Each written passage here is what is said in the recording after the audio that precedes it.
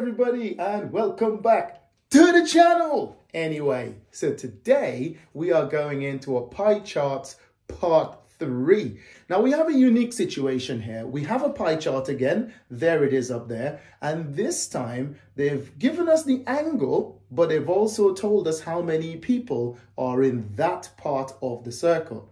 So you know from if you from watching my other two videos that it would have been that we would have taken a proportion, we would have done on 90 over 360, we'd multiply it by the total, and that would give us how many people like vanilla. But this time they told us how many people like vanilla and they want the total people that have been surveyed. Now, in order to work that out, you need to work backwards. So you need to do the inverse of what you have done.